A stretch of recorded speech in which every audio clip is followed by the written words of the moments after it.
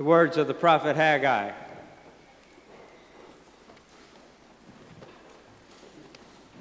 In the second year of King Darius, on the first day of the sixth month, the word of the Lord came through the prophet Haggai to Zerubbabel, son of Shealtiel, governor of Judah, and to Joshua, son of Jehozadak, the high priest.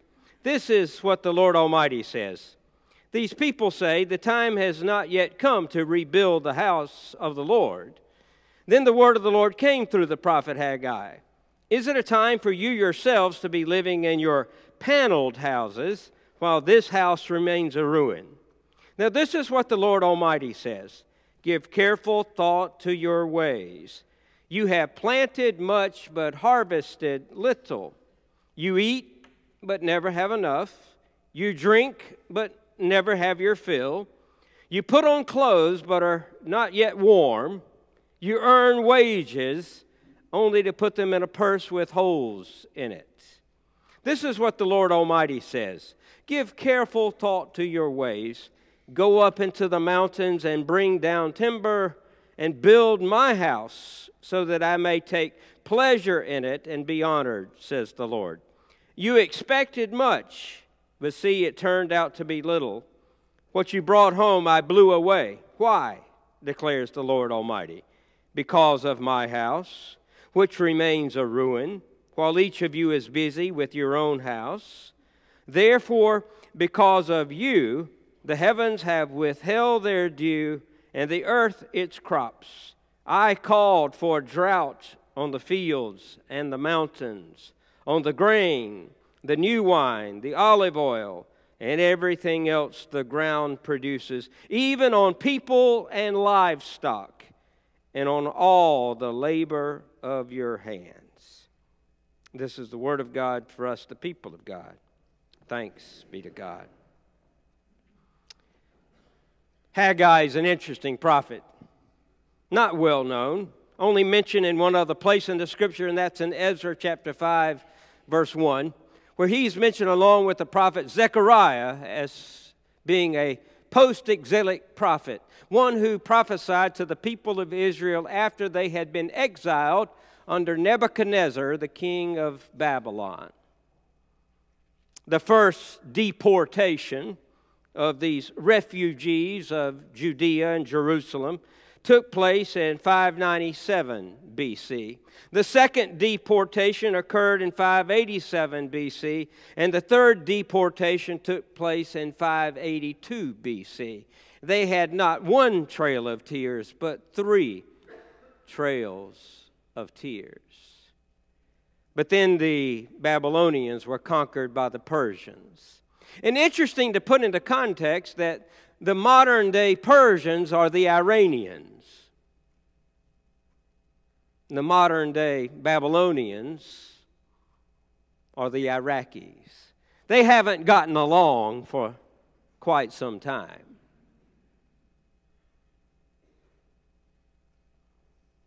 The Iraqis have the Tigris and the Euphrates, water and farmland. The Iranians have oil and zeal and fervor. Nevertheless, the people of Israel were set free. When the Persians conquered the Babylonians, Cyrus the Great conquered Nebuchadnezzar, the king of the Babylonians. And though the people of Israel had been in captivity for 70 years, they were set free by Cyrus the Great in 538 BC. And his son Darius implemented the fact that it would be better not to do as the Babylonians by deporting people, but by sending them home. Not by keeping them captive in your capital, but by setting them free so that they might go back to their homeland and rebuild their temple so that they might worship their God and be obedient even to us. And so, Haggai was a prophet during this time after the Israelites had been back in Judea, in Jerusalem, where they were sent to go back to rebuild the temple, But 19 years later, the temple had not yet been rebuilt. And we know because the Persians kept accurate records, we know exactly how long these few short words, these two chapters of the whole book of Haggai, we know exactly when they took place. Haggai prophesied from August the 29th of 520 BC to December the 18th of 520 BC. We know exactly when he preached. Some say that he preached the same sermon over and over again. And I've had that said about me because I repeat myself just so I hope and pray that you get it. well, Haggai preached the same words, two chapters long. And what he said was what we just heard rebuild the temple. You've been here long enough. You, you aren't just living in mud huts. You're, you've, you've given so much attention to your own homes. You're living in paneled houses. You've had the best of everything. You've gone from Formica countertops to granite a long time ago. It's time to do something about the Lord's work. And I know a lot of you have given a lot to the Lord's work. You were here for months, and especially yesterday with Applefest, and I give you great thanks for what this church has done, not only through that th- for missions, but through our Stephen ministry, through our missions leadership team, our mission impact celebration. It goes on and on from Saturday mornings with our Grace Kitchen for the homeless to countless ways that this church seeks to be busy doing the Lord's work. So I'm grateful. Haggai wasn't so grateful. Haggai was living with a people whose priorities were misplaced. Their houses, especially God's house and God's business, was not in order. It reminds me of the story of the letter on attendance sent by someone whose priorities were a little bit confused to a pastor. It was anonymously signed. This person was wanting to excuse himself or herself from being present in church on a regular basis. It was simply signed faithful, faithful member. Dear Pastor, you often stress attendance at worship as being very important for a Christian, but I think a person has a right to miss now and then. I think each person ought to be excused for the following reasons and the number of times indicated. And then there's a list. Christmas, Sunday before and after, one. Now, that'll be difficult this year, by the way, because Christmas is on Sunday. And we'll see how many show up at Christmas Eve services and think that that gives them a free pass from having to get up on Christmas morning. I mean, it is God's birthday, right? We, we want to, well, let me just save that for later.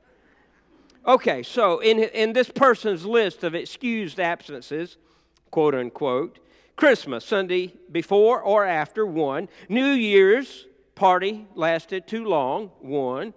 Easter, get away for the holidays, one. July 4th, national holiday, another one. Labor Day, need to get away, one. Memorial Day, visit my hometown, one. School closing, the kids need a break, that's another one. School opens, one last fling, that's another one. Family reunions, mine and spouses, two. Sleep late because of Saturday night activities, four. Deaths in family, four. Anniversary, second honeymoon, one. Sickness, one for each family member in the family five, that's five. Business trips, a must, three. Bad weather, ice, snow, rain, clouds, cold, heat, six. Ball games, five, of course. Time changes, spring ahead, fall back, two. Specials on television like the Super Bowl, two, no, three. And then the person goes on to say, Pastor, that only leaves two Sundays per year that I can come to church. So you can count on us to be in church on the fourth Sunday in February and the third Sunday in August unless providentially hindered. Sincerely, faithful church member. Excuses, priorities. Oh, we need to heed the words of the prophet Haggai. Not only take care of the Lord's house or the Lord's business, we don't want to become like some of the fine and grand churches in England or in Europe. Some of you have been to York in northern England, to the York Minster, the church in York. Beautiful, grand. It's a museum. No, we need to have a higher goal, a higher priority to be a living people of God, doing God's work in the community and in the world around us. I heard of a preacher who was preaching about the church's building fund and, and things being taken care of, and had the idea, of course, from the United Way, to have a thermometer brought by a building committee person and placed beside the pulpit in front of the altar, you know, with the thermometer, with the red. And it had not gone quite far enough, that red on that thermometer. So the pastor said, I want all of you to know, and he quoted from Haggai chapter 2, verse 4, where it says, Your goals will be fulfilled. The Lord your God is with you. Your goals will be fulfilled. The Lord your God is with you. That's what Haggai chapter 2, verse 4 says, in essence. So he decided, this pastor, that he would make a sign that says, the goal. And he placed it at the top of the thermometer. He placed it at the top of the thermometer, and that week, he got more compliments, more affirmation for his preaching than he ever did. One person said, You know, I, I, I, failed in business, I went bankrupt, but you said the Lord your God is with me, that my goals can be fulfilled. And so I'm going to go back into business. So thank you, Pastor. You've given me great advice. And the Lord's with me, right? A teenage girl said, You know, Pastor, your sermon meant so much to me. I am inspired to try to reconcile with my boyfriend much to her parents' chagrin. And, Pastor, thank you for your wisdom and advice and encouragement. Oops, the pastor was already thinking, I've really messed up. Another person said, Pastor, thank you so much for your, your sermon. That the Lord's with me. I need the Lord with me because I need to lose 40 pounds, according to my doctor. I need the Lord's help, and, and you're going to help me even though I live next to the candy store. So thank you, Pastor, for your encouragement. And it went on and on. And so finally, the pastor decided the next Sunday he needed to straighten things out because they had missed the real goal. Now, they got a little more money for the building fund, but they, risked, they missed the real goal. So the next Sunday's bulletin had in it same sermon, same scripture. And so he stood up and said, Folks, I need to apologize. It seems that I misled many of you, that your goals were so important that they superseded. And then he paused and took out another sign and placed it not on a thermometer, but he placed it on a cross on the altar. Your goal is not what's good for you, whether it be a weight loss or reconciliation with a boyfriend or a girlfriend or with one of your children. Your goal is not so much that you be healed or that somebody else be healed. All that's fine, all that's good, all that's grand, but our goal as Christian people is God, and we are not God as much as we would like to be he had to remind them of their priorities. Very often, our priorities are self centered, aren't they? We're like the, the guy who has a new BMW and he's driving and it's a cold day, it's starting to snow, he's in a mountainous area, his car is going around a curve and it's starting to slide and it ends up on the edge of the cliff and it's about to go over. He has the presence of mind to throw himself, fling himself out of the car. And in doing so, he rips off, I pardon sharing this, he rips off his arm at the shoulder and he is looking at his car. And a trucker sees everything, gets out of his truck and walks over as the man is saying, My BMW, my new BMW. And the trucker said, You've got bigger problems than that, buddy. You've lost your arm. He points at the guy's missing arm. We need to find your arm and get you to a doctor so they can sew it back on. He says, My Rolex, my new Rolex.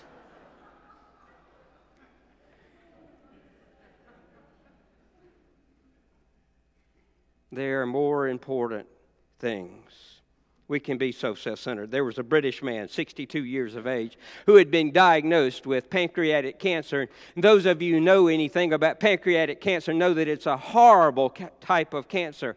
It's most often a fatal type of cancer. It's very difficult to survive pancreatic cancer. And so the man decided that he was going to live it up. And so he cashed in everything he cashed in everything. He was going to have a good time with whatever days, months, as much as they gave him, he had left. So he was going to have a good time. He sold it all. And then four months later, he was still alive and he actually looked fine. He credited it to selling everything off and having a good time. But no, they gave him some more tests. They ran some more tests and said, you know, we misdiagnosed you. You had an inflammation of your pancreas. You're going to be fine and probably live to be a 100. Well, you know, I guess we should be grateful, right?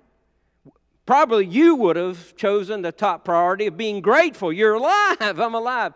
But he sued the hospital. He sued the hospital because he was broke. There's something wrong when our priorities are all about us, isn't it? There's something wrong. You remember Howard Carter, the archaeologist, who found King Tut's tomb. And going into King Tut's tomb, he found a number of things there.